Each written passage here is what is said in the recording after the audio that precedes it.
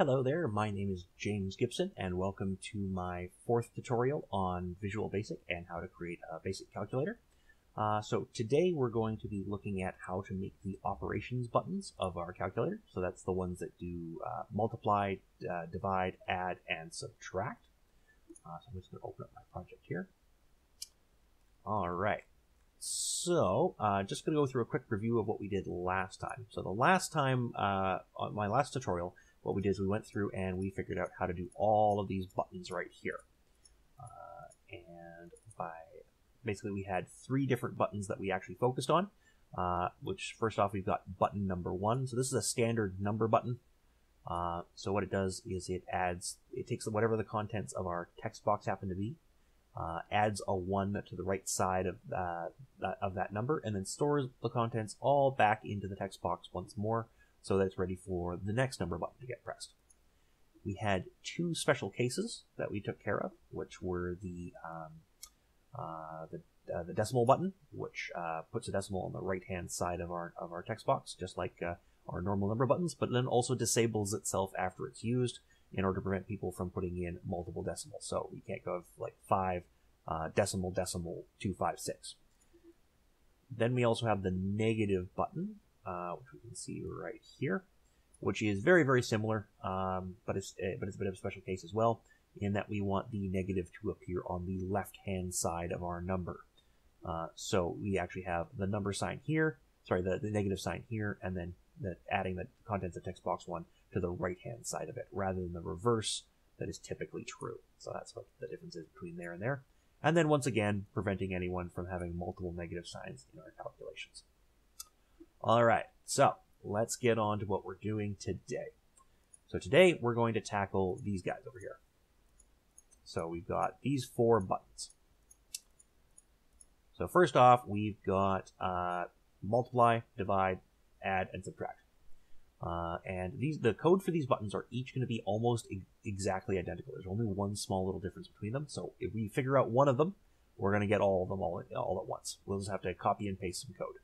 So let's go and jump into here, and we're going to take a look at it. Now I've already put down some scaffolding so you can kind of see what's going on. If you're following along with uh, with my written tutorial, um, uh, you'll you'll uh, be able to recognize all these stages in the uh, in the in the description which you can see right here.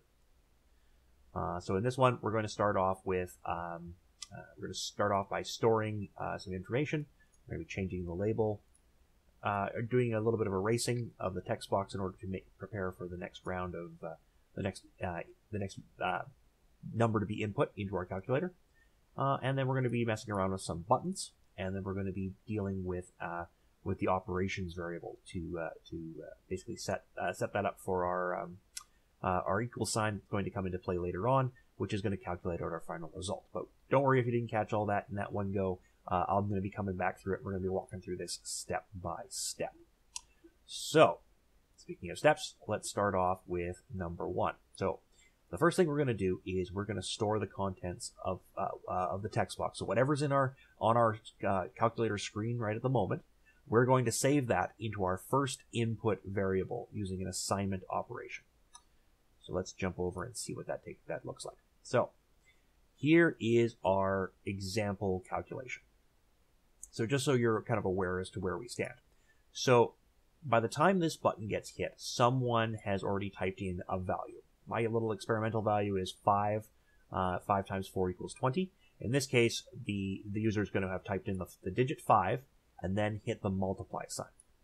Uh, and we're basically going to figure out what should happen when that occurs. Now, the first thing we're going to do is we're going to save that 5. Um, uh, and the, the reason we're going to do that is because we want to clear the text box for the next um, uh, the next value that's, that we're going to be entered into the calculator, namely the 4 when it finally, finally comes.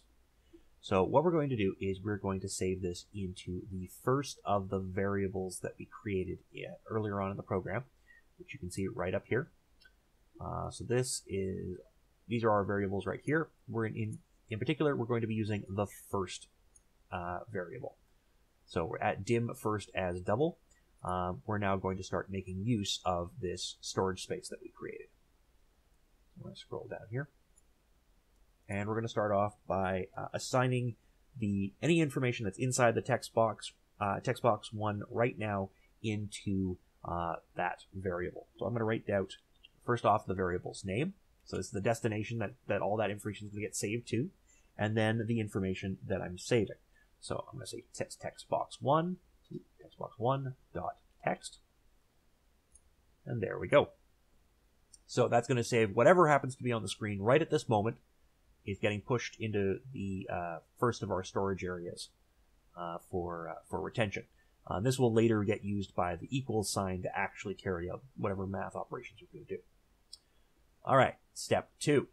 Now we're going to go ahead and change the label text. So the label is found right here, and it's as you can see, it says first value right now. We're going to tell it to now switch to saying second value, and we do that by, um, oh, I should say, um, as you can see down here, this is these are the properties of the label. So any if we want to access any of these properties, we just say give the label's name. In our case, our this label, you know, it says first value right now is actually called label one. Uh, so if I want to change uh, the text in it, I'm going to say label one dot text equals, and then I'm going to give the value whatever the value of whatever I want to save. Um, in this case, it's going to be a string of characters that say second value. Jumping back over here, I'm going to say uh, label one dot text equals uh, to second value. And I did that inside of quotes because uh, uh, anything that usually uh, anything that take carries text typically carries what we call a string, which is a string of characters. Uh, so this is why I've written those in double quotes. And usually anytime you're dealing with text, you're going to be seeing, you're going to be dealing with double quotes as well. All right. Next up, we're going to erase the contents of the text box. We Just up here, we've saved everything that was on screen. Now we want the screen empty so we can start entering in new values.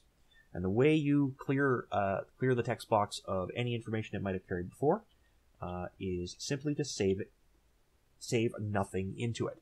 So I'm going to write text, text box one dot text, and I'm going to say it's going now going to be equal to an empty string of characters. So just like the second value there, I'm just going to I'm just going to say use two double quotes to delineate my string, and I'm just not going to put anything in between them. That's it.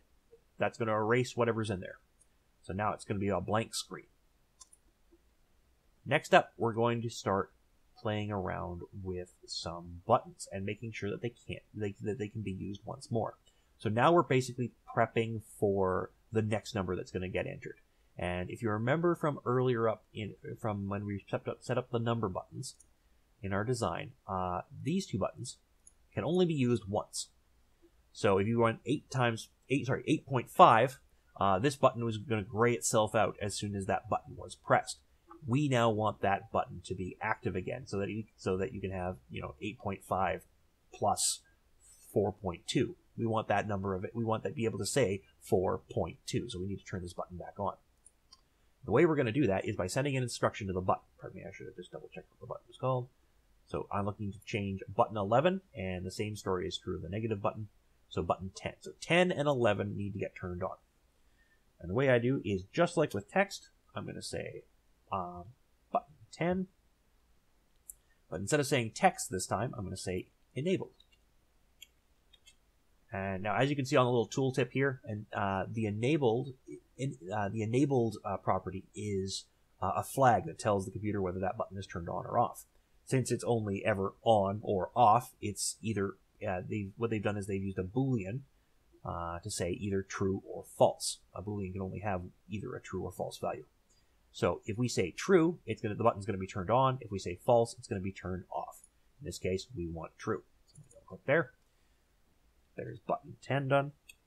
And now I'm gonna just quickly do the same for button uh, 11.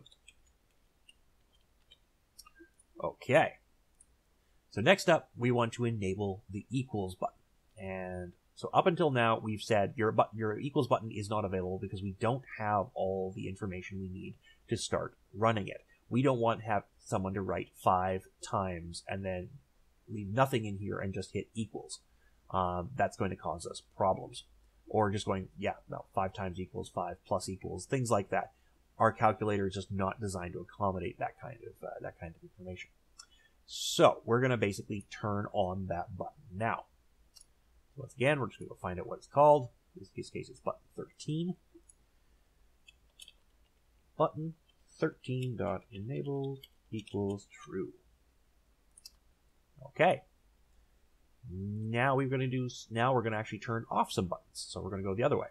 In this case, we're going to turn off our, all of our operations buttons. So we're going to basically make all these ones not available after one of these ones gets pressed. So you can't have 5 times minus 8 because we don't know. We basically don't want to go into how that might work. Um, so we're just going to limit it to one operation per um, uh, per calculation in this, in this particular in this particular calculator.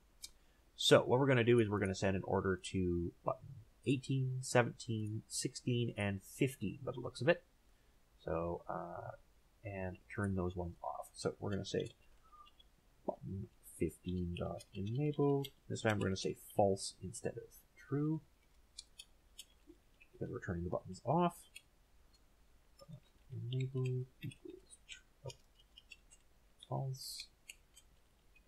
17 dot enable equals false and button 18 dot enabled equals false. All right, so now we've got one last thing we need to do, and that is setting the operations variable. Now, when our calculation actually runs, um, we're, we're going to have uh, or if we're doing, sorry, let's go back to our example. We've got 5 times 4 equals 20. So uh, our user has put, put in their 5, they've hit the times button, uh, and now they're going, and now our uh, calculator is ready to accept the 4, uh, the 4 value when, it, when that finally comes, which will come right after this button it works. Um, uh, but what our, what our equals button needs to know is what kind of calculation we're doing. Uh, that button doesn't have, right now, doesn't have any way of telling whether we are adding, multiplying, dividing, subtracting, anything. the way it's going to be able to, but what we're going to do is we're going to pass a message to it saying, okay, this is what kind of math operation you're going to be doing, and we're going to use the operations variable to do it. So into the operations variable, which is once again right up here, we're going to store a number, just a very simple number. Uh, it's going to have either one, two, three, or four. And if we're going to be, if our equals button is supposed to multiply some numbers together, it's going to have the number 1 stored inside of it. If it's going to be dividing, it's going to have 2. If it's going to be adding, it's going to have 3. And if it's subtracting, it's going to have 4. So we're going to scroll back down here. So what we're going to write is operation and simply say equals. So once again, I'm just going to be assigning a number here. So uh, in this case, sorry, this is an assignment operation. So storage location always goes on the left we say equals to something, and then we say whatever it might be over here that it's going to be equals to. In this case, we're just going to say equals 1. Okay, and there we have it. So this is all the code you need for the multiply button. Uh, and what you're going to need to do is uh, uh, copy and paste this to all of the other uh, operations buttons, so divide, uh, add, and subtract. Uh, but the only thing you're going to have to change is this guy right here. So when you do when you do your division button, it's going to be 2. When you add, it's going to be 3, and when you uh, subtract, it's going to be 4. And that's all there is to this one. So anyway, I'm going to jump back in. Uh, uh, I'm going to leave the sorry leave this tutorial here, and I'm going to jump back in when we tackle the clear button in the in the next tutorial. All right, thanks very much, and have a good day.